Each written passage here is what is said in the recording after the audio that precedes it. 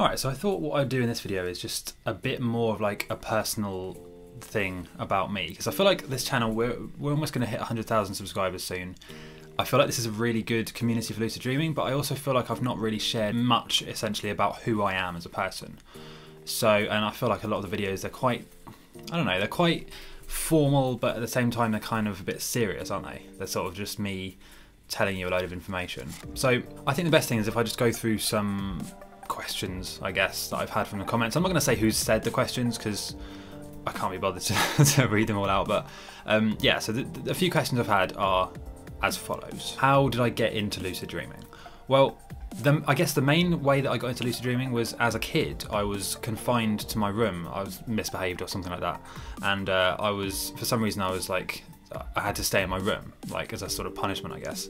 And what I did was I had so much energy, like I had all this energy and you know motivation to do stuff as a kid, like you know what it's like when you're a kid, you you're bouncing off the walls essentially. Um, but because I was confined to my room and I couldn't use any screens, I couldn't use my phone or anything like that. I don't think I even had a phone actually at that point.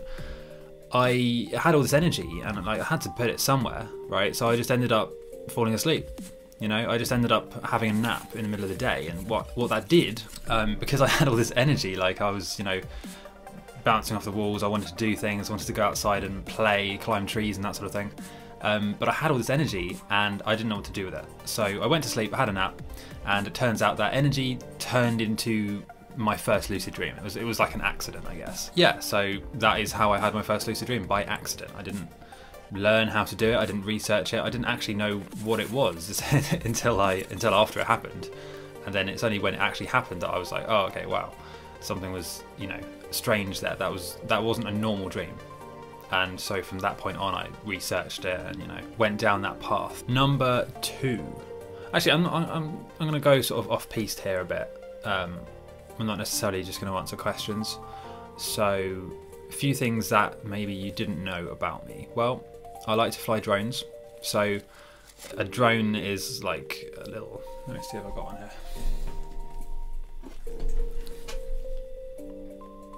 This is a drone. Well, it's a small one anyway. This is like a tiny little uh, indoor drone, and so what I do is I fly these things around. it's like my, uh, I guess because ever since I was a kid, I've always had this dream of flying. You know, of either wingsuit diving or just levitating or whatever. And this is the closest I can get to doing that on a daily basis you know, unless I actually became a wingsuit diver and I was somehow able to to wingsuit dive every day. Those of you who don't know, it's very expensive and hard to organise. Whereas this thing, you know, I can put these. Um, there's these sort of goggles that you wear that enable you to see what the camera sees, and I fly it around the house, and it's just, it's like I'm flying. You know, it's the closest I can get when I'm awake. You know, when I'm not lucid dreaming or when I'm not doing a wingsuit dive, which I still haven't done yet.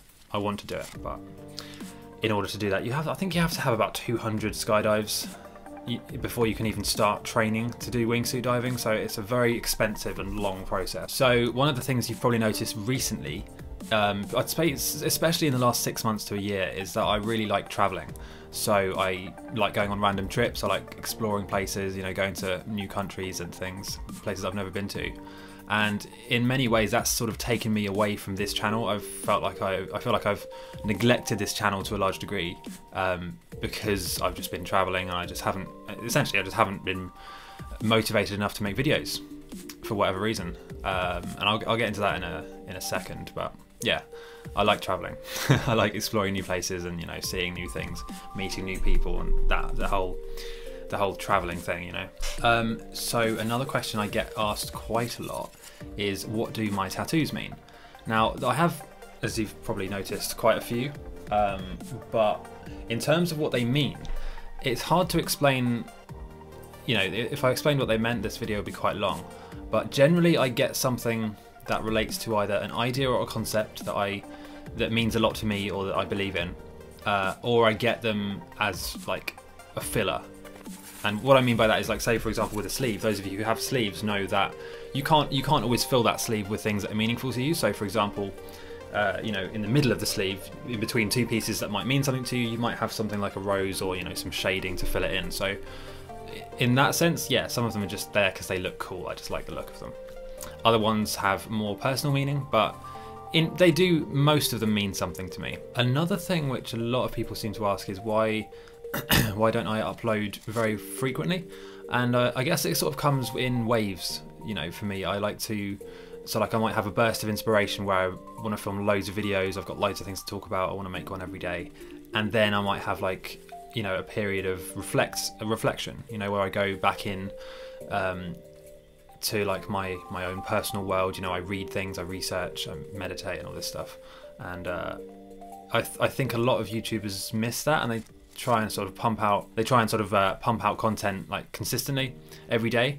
And some of them are very good at this like pewdiepie he makes a video you know more or less every day and it's, it's always fairly high quality whereas for youtubers that share information or you know that, that are teaching something or are sharing yeah in, i guess you could say information it's harder to do that because there's only a limited amount of information out there on a set on on a given topic, and so really it's a it's about finding a way of expressing the same information but in different ways and also incorporating it into different people's problems. Like for example, when I answer people's questions, it's like I'm applying fairly fundamental principles of you know how lucid dreaming works to their specific problem and trying to work out like what how I can answer the question. So so by doing all of that, what I'm saying is you can't make a video every single day. At least you know you can, but I, I try and I, I, naturally work in sort of these bursts where I'll have like loads of videos and then maybe nothing for a few weeks.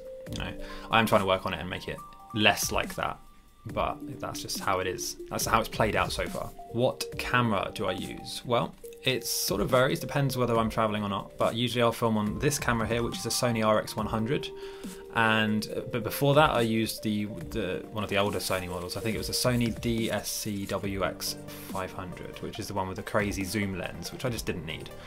so I've now sold that camera. Um, I now use this Sony. Um, or if I'm traveling and you'll notice that you'll notice the difference, right? Because the audio won't be as good.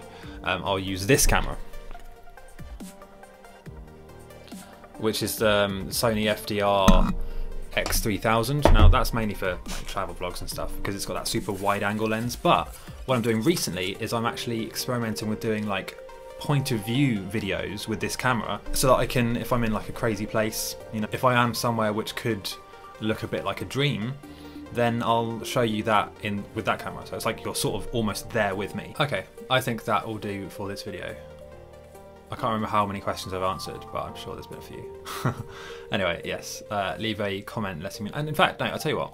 Leave a comment letting me know what you want to know, and then that way I'll make another video and actually answer a load more questions. So leave a comment on this video letting me know what you want to be answered. Thanks for watching guys. This video and this channel was supported by my Patreon followers. Please consider giving just a dollar a month to support this channel or just click the links in the description. You'll find links to various Lucid Dreaming products, articles, techniques and tutorials. If you did enjoy this video, please click the notification bell and subscribe and I'll see you next time. Why are you still watching this? You should have clicked one of my related videos by now, right? Or subscribed or gone onto my website or something like that.